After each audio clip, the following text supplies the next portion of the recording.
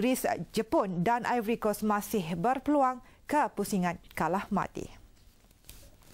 Baik, seterusnya kejayaan Uruguay menumpaskan England dalam saingan kumpulan di bola sepak Piala Dunia Brazil dicemari insiden tunjuk perasaan. Hanya kira-kira 25 km di luar venue perlawanan, kumpulan penunjuk perasaan bertindak merosakkan beberapa kereta di bilik pameran kenderaan dengan membaling kayu dan pelbagai objek lain. Keadaan bertambah buruk apabila kumpulan berkenaan mula bertindak liar sehingga ke jalan raya dengan membakar sampah dan merosakkan harta benda awam yang lain. Kumpulan yang dikenali sebagai sebagai Black Bloc bertindak demikian sebagai protes terhadap sistem pengangkutan awam dan memohon kerajaan menyediakan perkhidmatan percuma kepada lebih 2,000 pengguna. Brazil terus uh, berdepan tindakan kumpulan perasaan yang membantah penganjuran Piala Dunia walaupun kejohanan telah memasuki minggu kedua.